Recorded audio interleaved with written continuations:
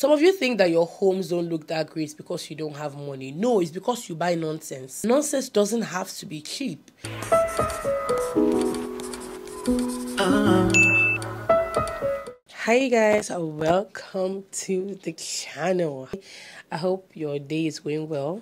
Today we're going to be talking about something very interesting that I actually like to talk about. And I hope that I don't annoy some people. I would definitely call some people out unknowingly, but I hope that you pick something positive from this video and use it to your advantage. Okay?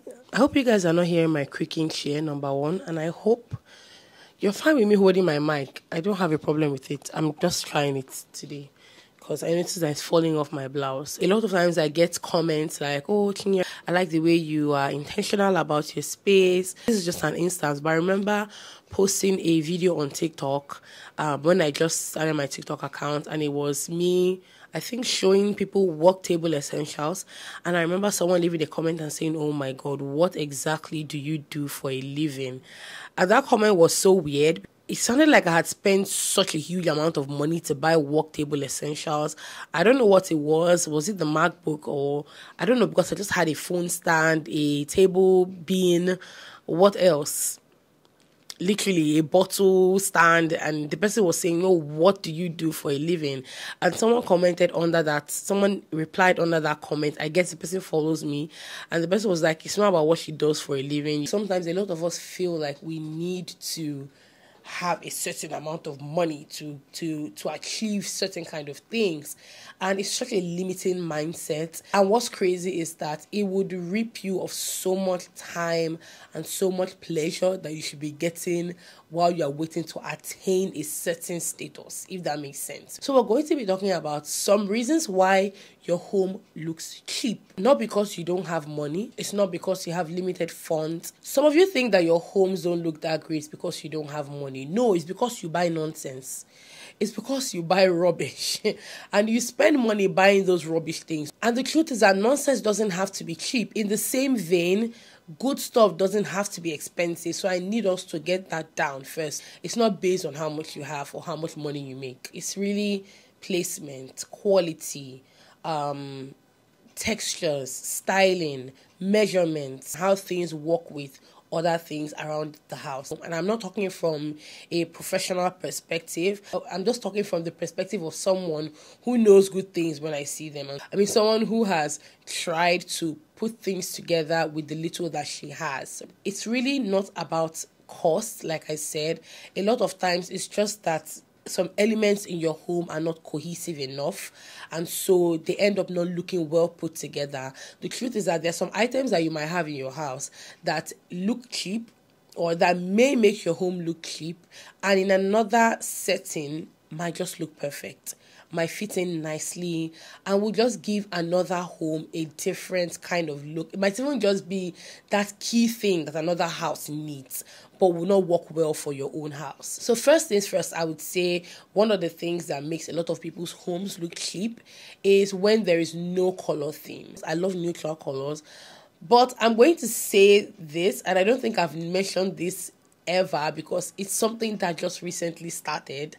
But I would say that one thing I've noticed about myself now, which is why you should never say never, because as time goes on, things change and some things might just be a little different from what they were. I personally have realized that I love a pop of color.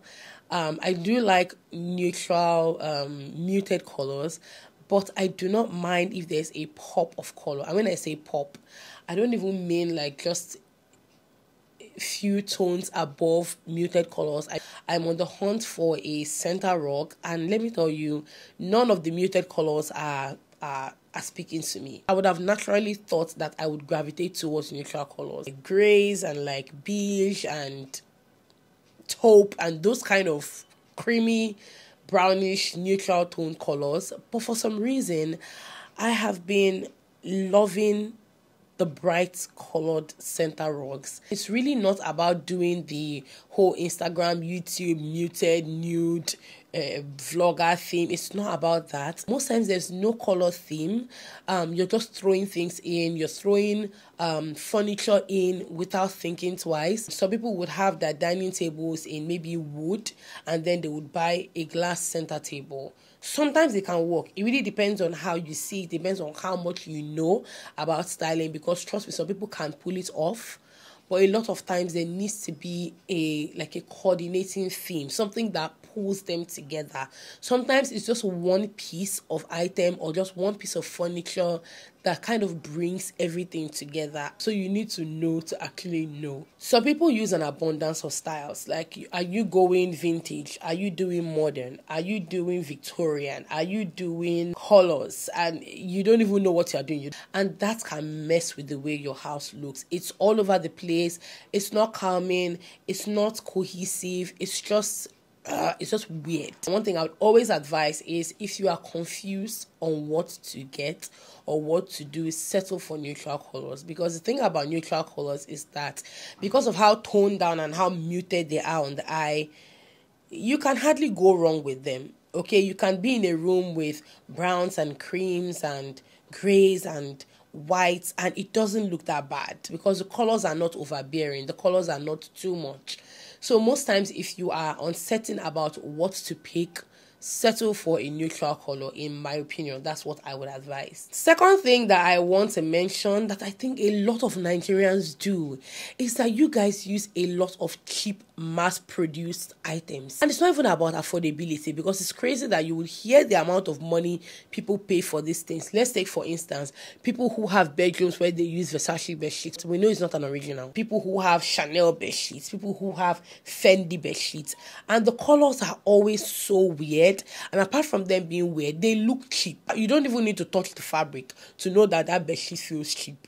And a lot of these bedsheets, I'm using bedsheets because I know people do this a lot, and I know a lot of people that do this. A lot of these bedsheets are not even absorbent. You're sleeping on a bed and you are sweating, but the sweat is not even getting absorbed. You will be swimming in your sweat because the fabric doesn't even absorb. So when you use weird cheap mass produced items like this, how do you expect your house to look? If you enter Mr. A's house, you are seeing LV.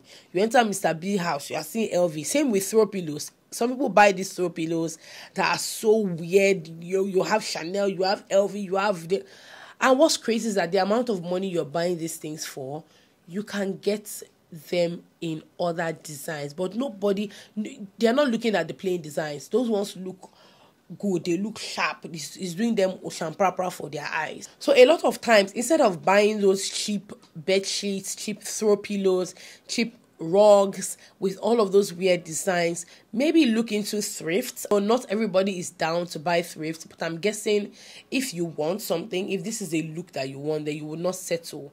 It's either going to be one of two things. It's either you settle for a thrifted one or you go all the way and spend the money and buy brand new ones. The quality i always look for i either have to settle for thrifts or I have to splurge and buy the brand new. If you live in Lagos, Nigeria, there are a couple of warehouses scattered all around Lagos where you can buy thrifted items. I'm going to take you guys to one next week. I think I'm planning to go to one next week. So I will do a vlog and maybe I will do a short form content for TikTok and Instagram.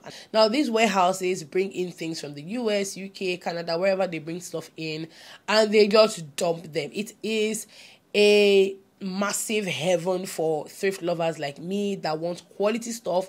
There's nothing you will not find there. You will find body products, you will find furniture, you would find appliances, electrical appliances, you would find a lot of quality known branded items. So check those out. They have a couple of them in oshodi. Um you just need to know where to find one I don't even know a lot of them. I think maybe I know just two in the whole of Lagos, and that's because I don't go out a lot.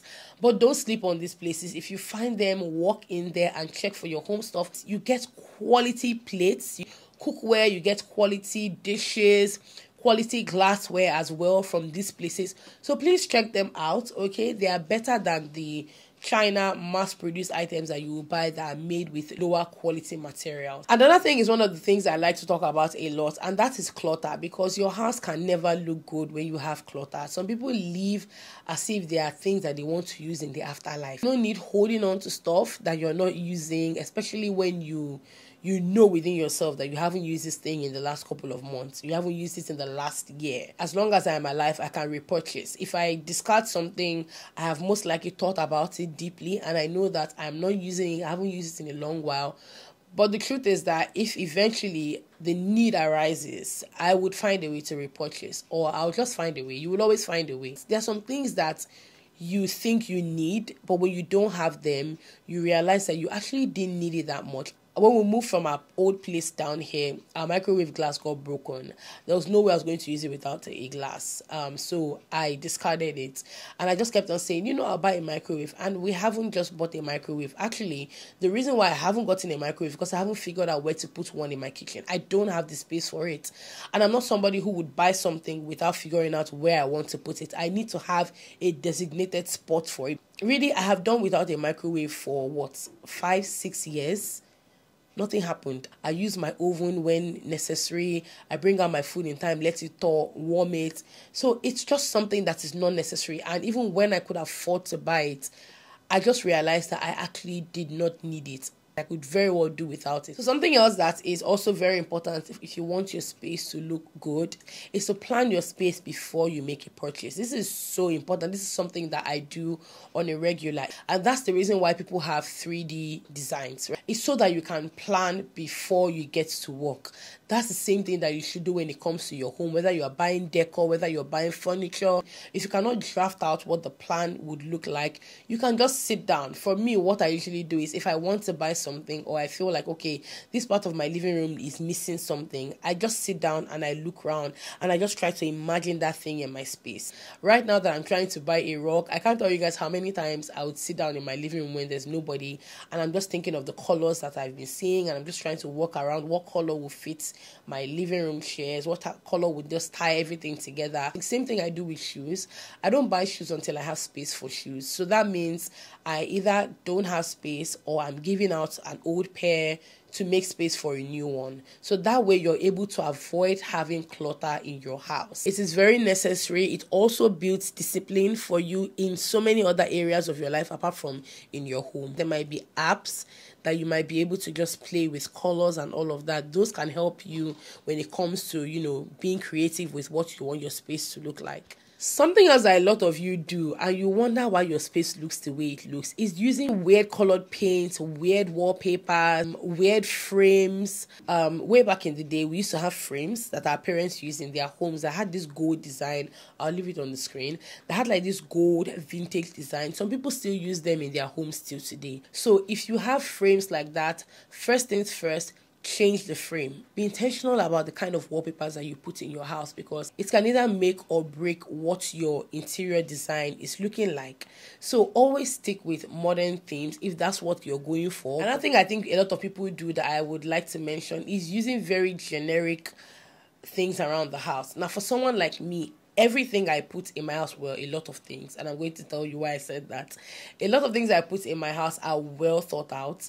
Before I buy a frame, even if the frame comes, because I mean, now you can make frames, you can choose what you want written in them, but there's some frames that come already made. So you buy them, it already has Life is Beautiful, it already has Live, Love, Laugh, it already has this. I make sure that these things speak to me. I make sure there are things that um, are personal to me before I actually purchased them. I remember there's a thrift page I follow, and I, have come across a couple of frames that she sells.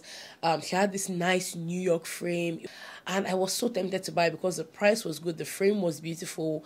But the one reason why I did not buy it, and this is just a personal thing, is because I couldn't find anything that connected me to that frame. In the sense that I definitely want to visit New York, but I haven't been there before. There was just something of, you know, great memory for me in New York, then I would have definitely purchased that frame because when I look at it, it means something to me. So it's not just, oh, just buying it just for the sake of buying it. When you're picking out things in your home, whether it's frames, whether it's just regular random decor pieces, um, or you know figurines things like that most times let it be something that speaks to you um, let it be something that is personal to you.